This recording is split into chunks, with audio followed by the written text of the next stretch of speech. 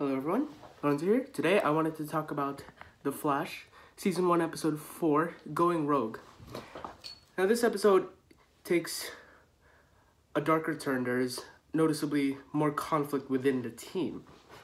So, what happens? Felicity from Arrow visits Central City, visits Barry and Star Labs.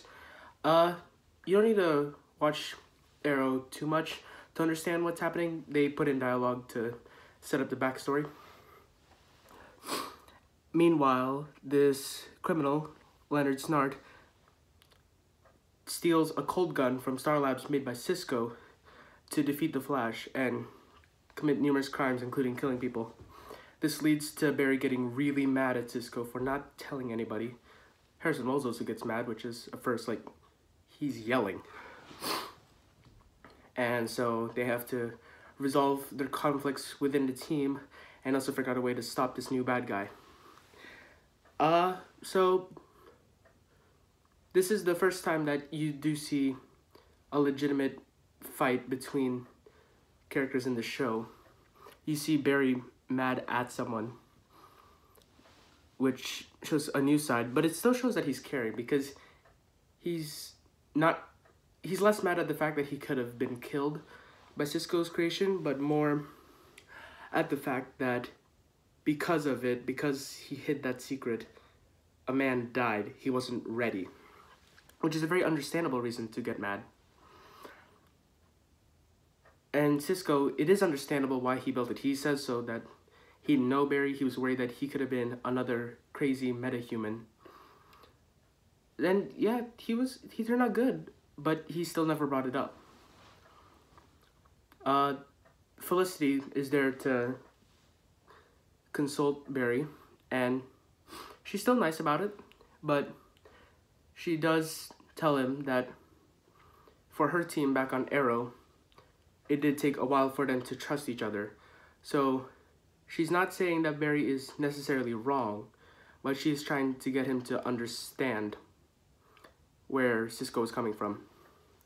So towards the end, Leonard Snart gets on a train, supposedly to escape, but when the Flash gets there, he derails the train with the cold gun, and turns out it's part of a plan where the Flash would be too busy saving people rather than trying to catch Snart.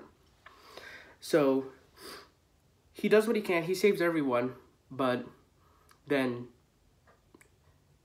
Leonard shoots him with the cold gun and he's stuck. He had shut off his communication, so he doesn't have help from Star Labs. But Felicity is able to convince the others to go out and help anyway.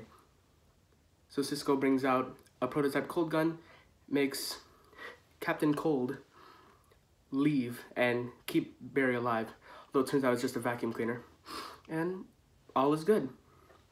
What is really good is that even when there is an argument, a massive conflict within this newfound family, they still figure out a nice, optimistic way to resolve it. It's still very wholesome, but it does acknowledge the darker fact that there are deaths and mistrust.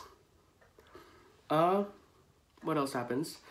Uh, there's a romantic plotline between Barry and Felicity. They're both talkative nerds. Even Iris acknowledges it, which is ironic.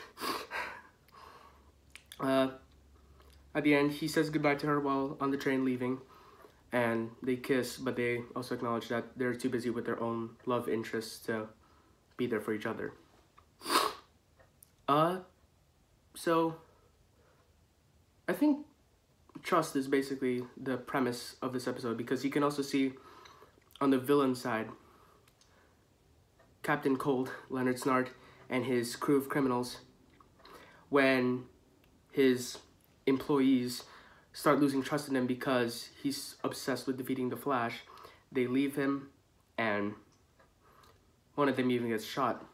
This other guy, he's the one that provided Snart with a cold gun along with another weapon, a fire gun of sorts, and since no one else knew about the deal, there was no one else, Snart shoots him with the cold gun so he gets it for free. So you can see the difference between the good guys and the bad guys on the show. For the good guys, they have people that they can trust, they can rely on. The bad guys, not so much. Overall, still a good episode. Shows that there will be problems within the team with people, even the best of people, with each other because various problems can come up.